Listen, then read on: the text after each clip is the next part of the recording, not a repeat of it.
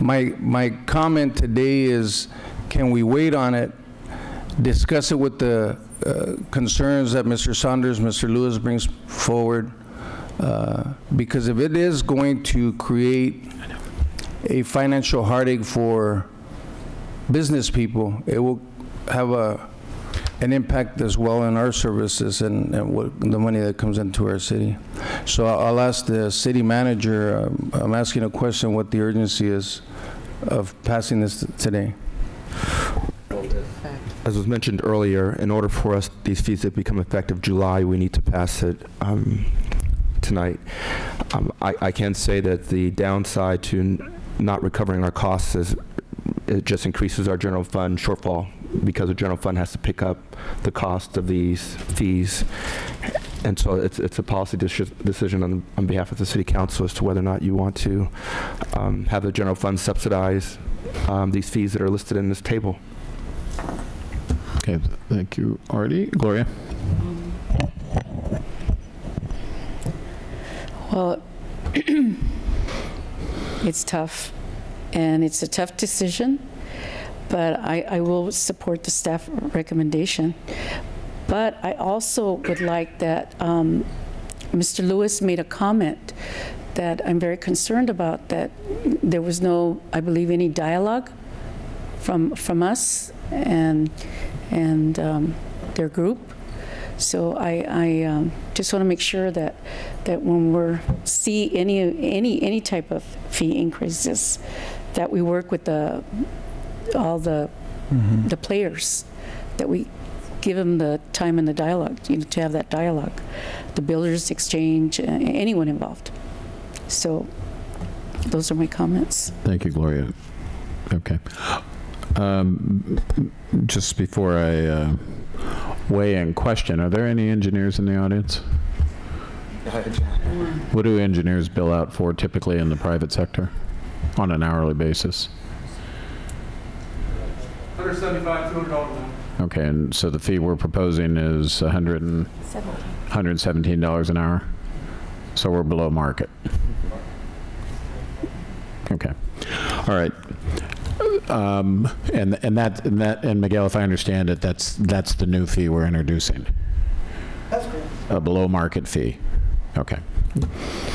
All right. Um, The, um, one one of the things I want to say is, uh, how many different, so there's X amount of fees plus one, correct? So. uh, That's correct. How, and And how, you- how many fees plus one? Uh, Well, we have, uh, I don't know, how many fees? We probably have about 500. Okay, okay, this is a 499% really good report with one exception. Um, I, I do think, I want, I want to pick up on the comment. I think one of the things that happens, uh, it is the beauty and challenge of democracy, and updating councils, uh, updating voluntary groups that come together. I, I'm very, very pleased that we're hearing a strong reinforcement for working through the business development task force. That, that's something, uh, when I was the chair of the chamber and my predecessors and successors, we all felt it was really important to make sure there was that uh, filter for anything new. So I'm, I'm really pleased to hear that partnership is being uh, reinforced. However, I, I do think it is important to note we're operating in an era, there's nothing routine around any, any fee increase. So I, I, I don't think this was perfectly executed, and I think we need to be mindful of that. If any fee increase comes before this, this council, uh, I, I think, I think it ought to be vetted, even that which is custom and habit. But, but I'm comfortable with the general acceptance of CPI. I think these leaps forward, uh, it is clear that part of the challenge Salinas has had, and I'm a sales guy, and, and sometimes when people want the order so bad, they under, they undershoot the mark. You know, like, well, it's, I really need five, but I don't think I'll get the order, okay, four. Well, th- this city has okayed for it itself over the last couple of decades, and so we had to play catch-up at some point in that, in that process. Has begun. And, and that has begun in consultation with the business community. Um, So, and and Frank, I think your, your comments are appropriate. I- The the baseline of comparing with other cities are not where can we get a high water mark for, for better or for worse, and it's not perfect. And I've had some questions with some of the cities we've compared to on, on on other matters. I really don't care what Visalia does. I mean, I like it. I think it's a really neat place, but there's no, and, and the Vintage Press is a wonderful restaurant, and I wish we had one downtown. Um, but the cost of living there is just simply different. But we, we've tended to try and kind of identify a pack that makes some sort of sense, whether it's population or or operating off the same per capita in our in our general fund. So so there's been no intent uh, to to see what we can get away with. I, I mean, I I the there has been a desire to have some consistency and some basis for what we do do, and there has been clear dialogue. But but this one's not perfectly executed, but it appears to be about 499%, uh, whatever that works out to, with the one exception of the engineer fee, which you have brought us below market. Below market. Watch that. Um, So what, what I, what I would say is, uh, we, we also have an obligation to the public to guard uh, what I, what I consider are already a too low um, general fund per capita baseline. Now, that's, that's going to be an ongoing dialogue. You know, in the old days, you know, passing a, you pass a budget and go, good. Never have we lived before, have we paid so much attention to a mid-year correction or a quarterly sales point or report. Everything is much more immediate. I'm satisfied, and I'm going to support this, that the dialogue that's taking place with the business development group, the review of the permit fees, you know, and, and again, I, I, the council has reinforced over and over, we, we want to be business friendly. So I'm, I'm not overly concerned, but I, but I do want to state for the, for the record, I, I- from my perspective, anything that comes in front of this council, it should be vetted completely in its entirety. And I think that was our intent, but it didn't quite happen as, as well as it should, and I think we, um, um, note, note that for, for the record, and it sounds like we will have uh, a timely update once your group gets together, and if we have to make some adjustments, we will. I mean, there, there is no desire in the intent of this council to impede any developer, any, any legitimate developer, any legitimate business activity. And, and I think we're mindful of, of some of the challenges that, uh, that Main Street's facing. You know, whatever, whatever recovery I keep reading about in the paper, it ain't on Main Street. We're, we're, we're real clear on that. So I, I think you'll see the council be uh, flexible and, and supportive. But, but I, but I do think there's some execution issues we ought to be mindful of in terms of reports and coming in front of, front of the council. So with that, uh, I, I'm prepared to support the motion. I will ask for the question to be called for. Councilmember Barrera? No. Councilmember Craig? No. Councilmember De La Rosa? Aye. Councilmember Lutes? Aye. Councilmember McShane? No.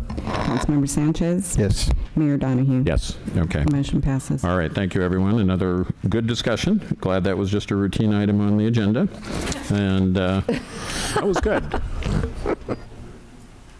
Now I know why we don't commit to ETAs on uh, when, or when, when, when we will get to the, uh, I w- I would have called this one in 10 minutes, missed it by an hour. All right, with that, hiya, Gary. Just a- another routine agenda item. I knew I shouldn't have told my wife I'd be home early tonight. It's the kiss of death. Thank you, Mr. Mayor and, and Council. Uh, from time to time, we review um, city properties to determine what's available as, as we look at assets of the city and uh, and we look at the budget issues associated with the city. So we started a few years back looking at what were called surplus properties, uh, but um, that's a the idea that a property is surplus is challenging. So what we have done is look at properties in the city um, that might be might be saleable Um, and what we discovered is that we have a, a really wide range of parcel sizes, and many of them very small. In fact, if you look at most of the undeveloped property in the city, um, two thirds of it is less than four tenths of an acre and is usually associated with a, a landscape area around a subdivision.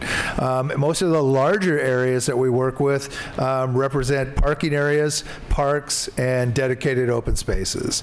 Um, but there are larger properties that are available, um, and many of those are subject to very specific conditions. Uh, for instance, redevelopment properties, uh, many of them were acquired for specific uses like housing, um, such as housing, and would require that housing be built on that property no matter who acquired it.